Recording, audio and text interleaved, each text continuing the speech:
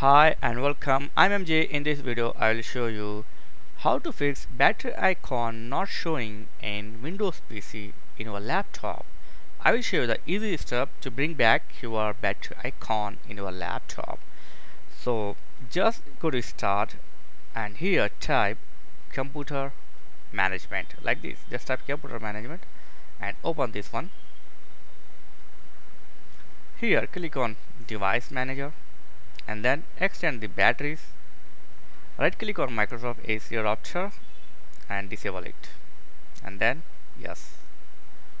And next do the same thing to other Microsoft ACPI whatever you find in your battery section just disable this. After disable I will show you my taskbar. There is no battery icon. Okay now it's time to click on scan for hardware change. Just click on this icon. Hit for hardware change. Now again right click on the battery and enable it.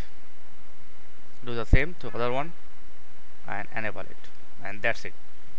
Hopefully this will bring back your missing battery icon like this.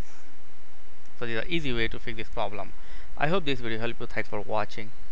See you next video. Please like share and subscribe. Thank you very much